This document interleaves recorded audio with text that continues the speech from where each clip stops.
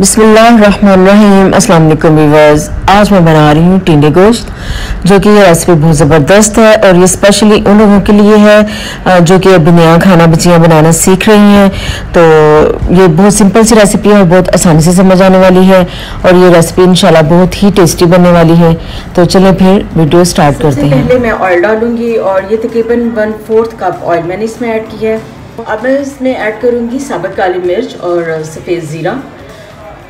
सफ़ेद ज़रा तकरीबन है वन फोर्थ टी स्पून और काली मिर्च तकरीबन दस से बारह दाने।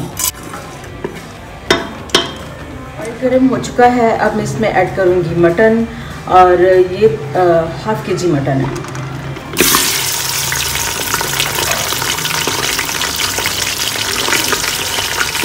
मटन को ऑयल में मैं फ्राई कर लूँगी हल्का सा फ्राई करूँगी और बाकी स्पाइसेस मैं इसमें बाद में ये दो मीडियम प्याज मैंने काट लिए थे।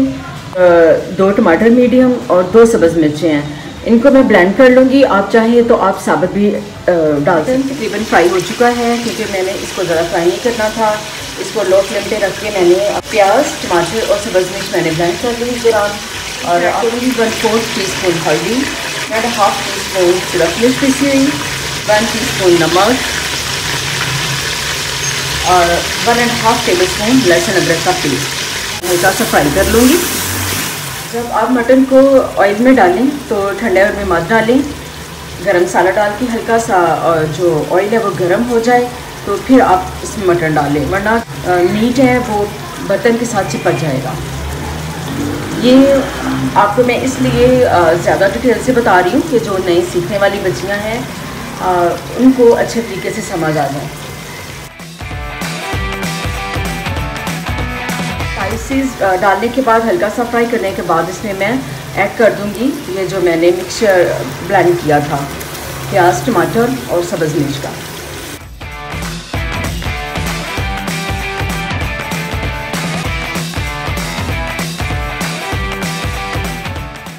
इसमें मैं पानी ऐड करूँगी, एक ग्लास और तकरीबन थोड़ा सा ऊपर ही नहीं वन एंड हाफ़ ग्लास के करीब मैं इसमें ऐड करूँगी।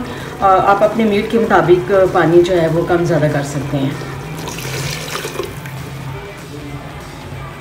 और प्रेशर में बंद कर दूँगी तकरीबन 20 मिनट के लिए।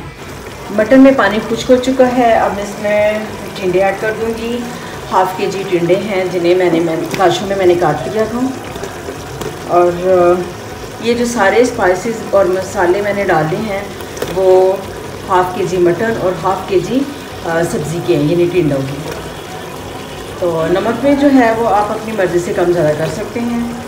टेस्ट के मुताबिक अब ऐड कर दूँगी हाफ़ कप दही, इसे मैंने फेंट लिया वन टेबल स्पून पिसा हुआ खुशक धनिया और वन फोर्थ टी स्पून काली मिर्च पीसी हुई। अब इन सब चीज़ों को मैं अच्छी तरह मिक्स मैंने कर दिया है और दही के पानी खुश्क होने तक मैं इसे पकाऊँगी। थोड़े से टाइम के बाद आप इसमें चम्मच चला दें ताकि मसाला नीचे ना लगे। दही का पानी खुश्क हो चुका है और अब मैं इसे अच्छी तरह भून लूँगी। सालन को मैंने अच्छी तरह भून लिया है और अब मैं पानी इसमें ऐड करूँगी। वन एंड हाफ़ ग्लास में पानी ऐड करूँगी ताकि जो सब्ज़ी है वो भी गल जाए। और जितनी मुझे ग्रेवी चाहिए, वो भी मुझे मिल जाए। पानी ऐड करने के बाद मैं प्रेशर को 12 मिनट के लिए बंद कर दूँगी। सालन तैयार हो चुका है और माशाल्लाह से ग्रेवी इसकी बहुत ज़बरदस्त तैयार हुई है। आप इसे चावल के साथ खाएँ, रोटी के साथ खाएँ ग्रेवी बिल्कुल मुनासिब है। मिर्च एक दाल भी काट के मैंने, आप चाहें तो इसे सादी के साथ ले सकते हैं। और ये गर्म मसाला भी मैंने डाल दिया और हमारी रेसिपी बिल्कुल कंप्लीट हो चुकी है। आप मेरी रेसिपी को ट्राई कीजिएगा, चाहे कोई नया सीखा है, चाहे कोई रेगुलर कुकिंग वाला है आप मेरी रेसिपी को ट्राई कीजिएगा, आपको ये टिंडे गोश्त बहुत टेस्टी लगेंगे और आप इसको बार बार इंशाल्लाह बनाएँगे। तो फिर वो मेरे चैनल को लाइक करें सब्सक्राइब करें एंड शेयर करें। थैंक यू अल्लाह हाफिज़